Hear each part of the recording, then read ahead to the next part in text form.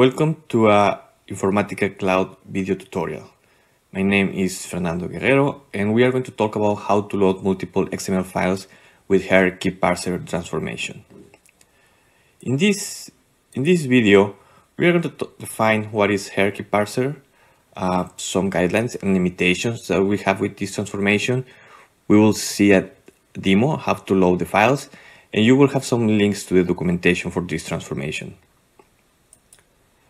So hierarchy parser transformation is going to allow us to process um, hierarchical input like XML documents, JSON objects into relational data. So we can save that information into any database that you want.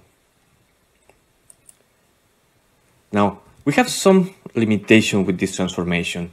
So we can we can load files that are up to 1.5 gigabytes. If you need to process files that are bigger than that, I will recommend you to use intelligent structure models.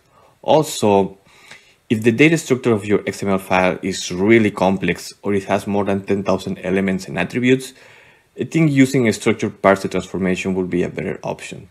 And when you use hierarchy parser transformation, uh, just keep in mind that uh, for Boolean data type inputs, we will get a zero as return. So now we are going to proceed to see the demo and how to load the files. So now we are going to load the XML files and the first thing that I want to show you is like here we have uh, four XML files and we want to load all of them at the same time. And one thing that we have to keep in mind is like the, the data structure inside those files, it has to be the same. If they don't share the same data structure, we are not going to be able to load them together. So now let's go to, to Informatica Cloud. And first, we need to go to the components. And here we have one called hierarchical schema. This is going to read one of the XML files to understand the data structure. And it's going to create a schema based on that data structure. We will use this schema later on our mappings when we are loading the actual XML files. So it's going to create one. I'm just going to say city, city one. Uh, and we select one of the files that we want to, to process. We are going to validate. It's, it's fine.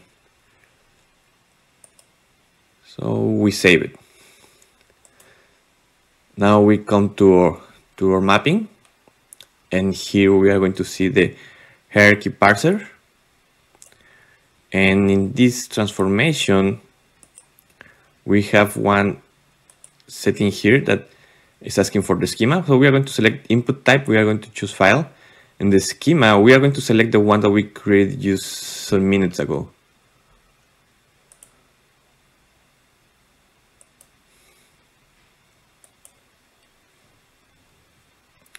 We save it.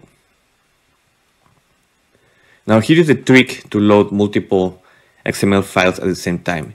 Or source, uh, we are not going to read the XML files directly. What we are going to do is we create one flat file connection and we are going to be reading one text file.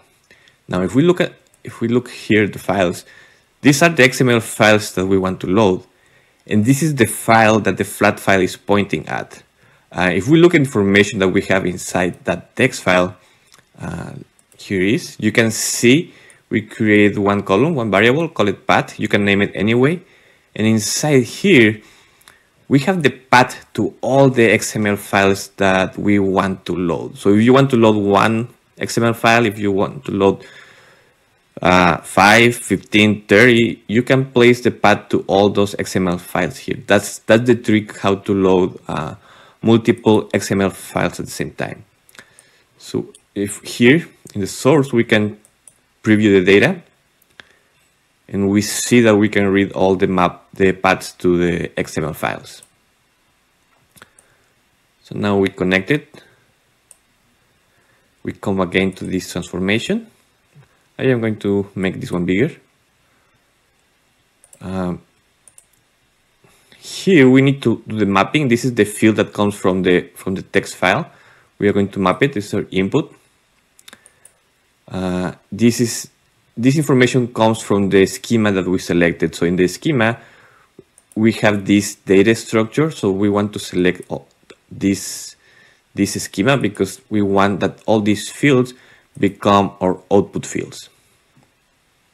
And this is the name of this, this group. This group is called customers city info.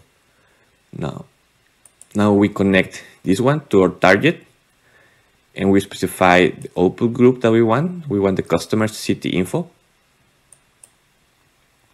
Here our target, we are connecting to um, a table. We have a snowflake table. And if we look at the if at the table right now, you will see that this table is it's empty. We don't have any data in the table. So we connected to the to the target. Um, let me maximize this one. So the mapping is already there. It's gonna save this mapping. Everything is is fine. And we can create a mapping task to execute this one.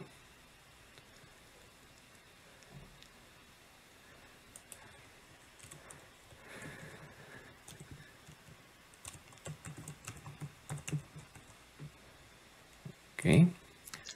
So we will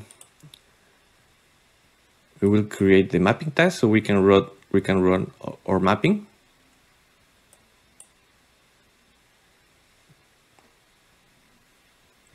Uh, we have it ready. So now we can run this mapping task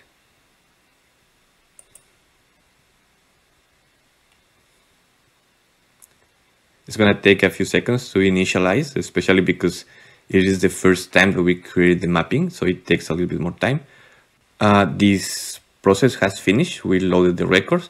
So let's go to verify the data in the table. So we get take a look at the data in the table. We have these records. And these records, you see, they come from the different files that we originally had. And this is how you load more than one XML file at the same time. If you want to learn more about Hierarchy Parser, you can check the documentation at informatica.com. There is plenty of information about this tool. If you have any feedback, please send us a message to support videos at informatica.com. We would like to hear from you. I appreciate your time and your interest at Informatica Solutions. Thank you.